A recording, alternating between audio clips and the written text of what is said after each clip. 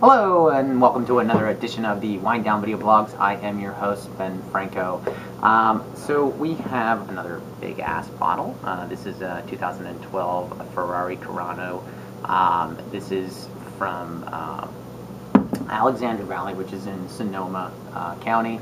Um, warmer part uh, of Sonoma. It's probably they, they usually rate uh, areas uh, level 1, 2, 3, and 4. This is a level 3 as far as warmth, one being uh, cooler uh, area, so this is a warmer part of the region.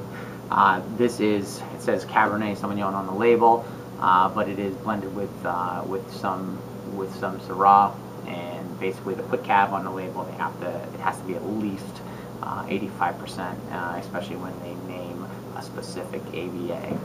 So let's give it a go.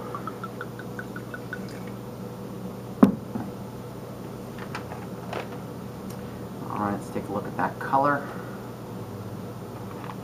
Give it a quick look there. So a nice deep uh, purple. Um, see if I can see any major staining. Um, some light staining and tears. So concentration wise, there's a good bit of concentration. Let's see, Let's see what we get on the nose.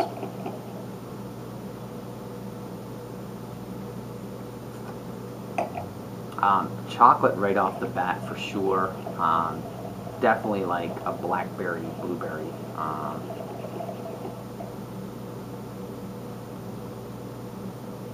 uh, definitely some cassis coming through.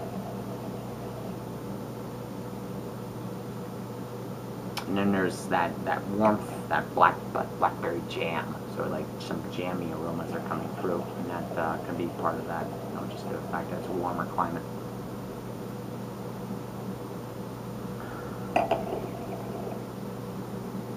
And there's definitely some, some spice notes coming through, some, some vanilla, uh, a little bit of cinnamon.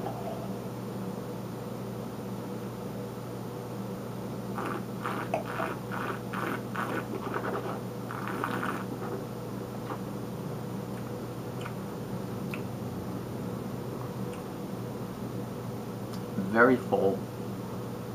Um, flavors are really nice and integrated. So there was definitely a front, a mid, and a, a back palate here. Um, the tannins are there, but really dissipate very quickly and are very, very smooth. This is a this is a really nice. Like you can drink this this Cabernet. It's not too big that you need a, a piece of food or something to break it up, but uh, it's it's it's a really nice integrated cab. Um, flavors kind of continue uh, with what I was kind of seeing on the nose. Uh, blackberry, there's a little bit of blackberry jam uh, on the back end. Uh, there's definitely like a cocoa slash chocolate kind of component going on. But overall, like a really nice Cabernet. It's not over the top for me, and I kind of like that. Uh, it's kind of like it's it's it's hitting a, a, a good a good kind of height. Uh, sometimes the, cabs, the big cabs in California, get a little bit overpowering, and you definitely need some food to calm them down. I mean, they're good. I'm not getting that. I'm not saying that, but this is a nice cab that just comes right in, uh, and it's and it's good for uh, it's good for drinking uh, just on its own. All right, uh, come check it out this week, and we'll see you next time on the Winedown Video Blogs.